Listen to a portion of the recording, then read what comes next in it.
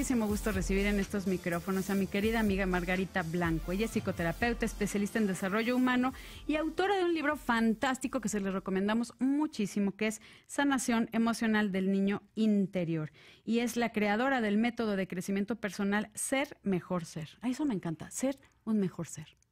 Está lindo, bienvenida Margarita. Qué gusto, qué gusto, mi queridísima Etel. Oye, y vamos a hablar de la clave de la verdadera autoestima. Yo creo que todos deberíamos de saberlas, aunque aunque a veces nos sentimos así que o aparentamos. Aparentamos, que es diferente. Exacto, estar a todo dar y tener como todo el control de lo que sucede así guardamos eh, mucho dolor y nuestra autoestima está muy baja. Muy, muy golpeada. Muy golpeada. Claro que sí. Pues fíjate que el, hay que entender de dónde o cómo se establece. ¿Cuál es la base de la verdadera autoestima? Y la verdadera autoestima es algo que, por ejemplo, se trabaja mucho en la adolescencia, ¿no? Sí. Eh, mamá, es que me veo horrible, mamá. Estás linda. y, la mamá la trata de convencer de que es preciosa o de que el chamaco está guapísimo. Y él dice, no, no, no, estoy horrible. Pero no se forma la verdadera autoestima en la adolescencia. El cimiento de la verdadera autoestima está en los primeros años. Ay, en la torre. En los primeros años cuando todavía estamos apenas entendiendo qué cosa, qué pasa con el mundo, cuál es nuestro lugar, dónde es que estamos ubicados, porque en esos primeros añitos, en esos primeros seis, siete, ocho años de vida, se establece algo que es fundamental, que es el autoconcepto.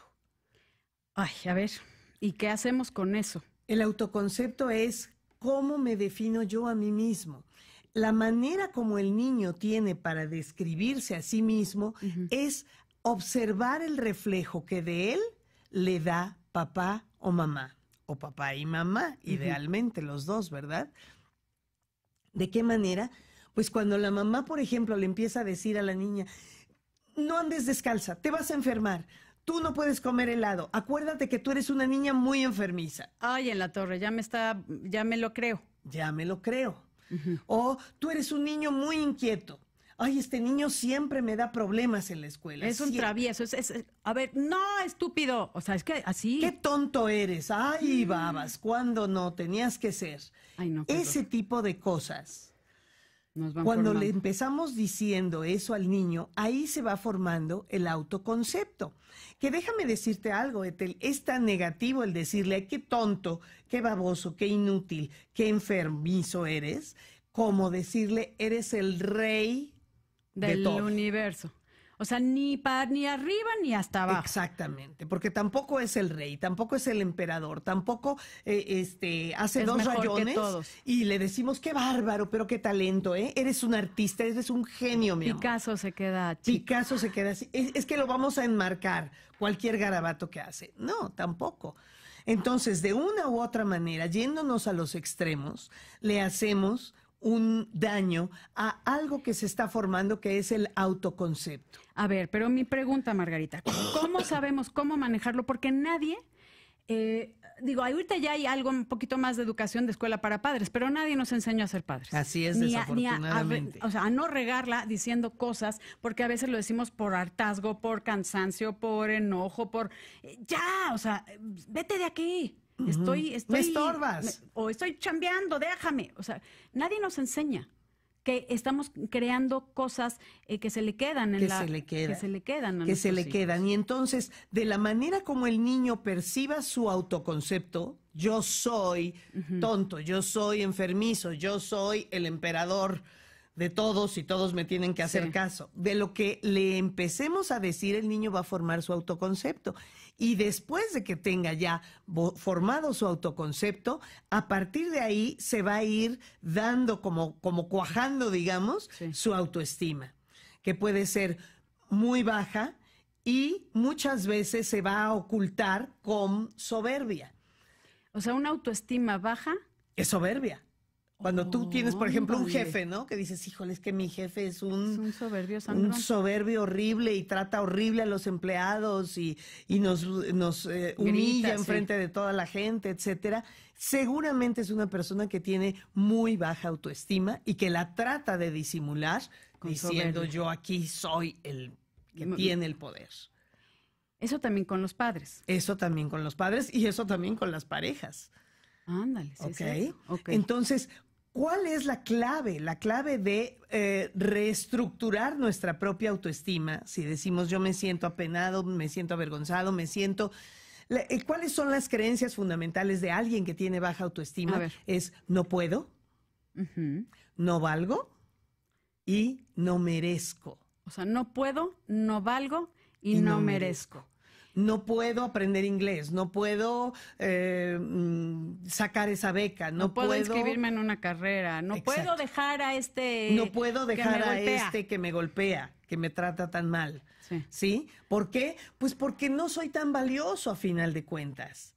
Y porque, y como soy, no puedo, y como no merezco, digo, como no valgo, no merezco una pareja mejor, no merezco un buen empleo, no merezco uh, obtener mi sueño, lo que siempre he querido. No puedo, no valgo, y, no, merezco. Esas son las tres creencias limitantes que están atrás de la baja autoestima. Así es, fíjate que tú me enseñaste eso y esto lo, comento en mis conferencias, donde siempre te menciono, mi querida Margarita, y es algo fundamental. De, de, cómo nos vamos formando y siempre pensamos eso, no, yo estoy gorda, no merezco que alguien me quiera. Así es. Yo estoy flaco, estoy con gran, lo, que sea, cualquier, cualquier cosa lo que sea. Y entonces es fundamental reconstruir, digamos, rehacer nuestra verdadera autoestima. ¿Y eso cómo lo vamos a, lograr? Eso no está tan fácil. Fundamentalmente tenemos que ir a la causa que se originó, donde se originó todo. ¿Y si no sabes? No, no tienes que saberlo conscientemente. Pero ahorita me dices, ¿cómo le hacemos? Vamos a una pausa y volvemos, no se vaya, los dejamos picados, regresamos. Dice Juan Carlos Puerta que la autoestima se puede cambiar. Pues claro, por es supuesto, lo que de eso Es lo que está comentando Juan Carlos. Sí, sí, eh, sí. Sí se puede cambiar. Imagínate que nos quedáramos con la autoestima golpeada y dañada y ya no hubiera manera de hacer algo diferente. Qué fastidio. A ver, dime una cosa. ¿Cómo ah, que la clave de la autoestima obviamente es ver ese autoconcepto que dijiste y, es no puedo? La clave es sanar nuestras heridas emocionales de la infancia. Eso de no puedo, no valgo y no. Exactamente, porque ahí es donde se establecieron.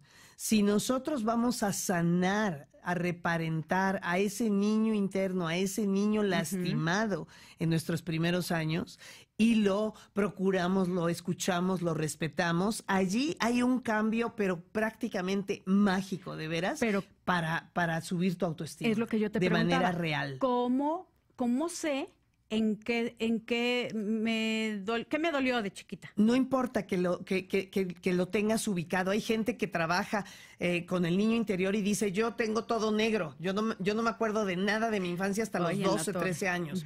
Igual se puede trabajar. ¿Cómo? A ver, tienes, eh, que eso siempre me encanta. Yo he ido a tus diplomados, mi querida Margarita. Sí, y además ahora está padrísimo porque vamos a empezar en Puebla. Vamos a empezar el diplomado Ser Mejor Ser en Puebla y vamos a dar una conferencia gratuita este viernes, este viernes 31 a las 6 de la tarde. Pueden ir a la conferencia gratuita, ahí les vamos a platicar, porque el taller lo vamos a dar, si pueden de una vez, resérvenlo, 1 y 2 de diciembre, de diciembre, ¿eh? 1 y 2 de septiembre, o sea, al día siguiente de la conferencia. O sea, la conferencia gratuita para que vean de qué se trata, gratuita. El 31. ¿A dónde llamo para...? Llamen, por favor, al 245 5555 en Puebla. 245-5555. O manden un correo a uno, número uno, uno, salud y armonía arroba gmail.com. Allí les van a dar toda la información y ahí pueden eh, reservar su lugar para, ir a la conferencia y luego el taller va a ser rescate del niño interior y constelaciones familiares con José Miguel Flores, que es mi colega con el que trabajo eh, la ¿Sabes que parte tú has trabajado todos los, diplomados que yo he tomado contigo son maravillosos. Esto de ser mejor ser. Tomé el rescate del niño interior, el de la adolescencia, constelaciones, ya no me acuerdo qué tanto relaciones de pareja, ah, cerrar, ciclos, este, comunicación efectiva, inteligencia emocional. Y todo eso lo vamos a estar dando una vez al mes en Puebla. Entonces llamen y aparten su lugar 245-5555 para que no se queden fuera de la conferencia gratuita. Lleva a tu hermana, a tu prima, a, abuelita, tu pareja, a todos. A todo mundo. No se pierdan a Margarita Blanco, de, verdad es una extraordinaria eh, eh, psicoterapeuta, amiga, conferencista y bueno, todo lo bueno. Muchísimas este, gracias. Te agradezco muchísimo, mi querida Margarita. Muchísimas gracias y un gusto y un placer estar aquí nuevamente contigo. El gusto es mío. Le mandamos un abrazo enorme a mi querida Deyanira Díaz Fernández, que dice que hoy son mi coach de vida, que es, eh, dice que hay diosidencias porque nos está escuchando en un proceso de quimio, radio y braquitea. Eh, ay, gracias. es que me dice que es a mí, pero muy bonitas. Te lo agradezco y vas a ver que te va a ir a todo dar, mi querida Deyanira. Un beso enorme y miles de bendiciones. Gracias. Yo soy Etel Soriano y por favor, cuídese.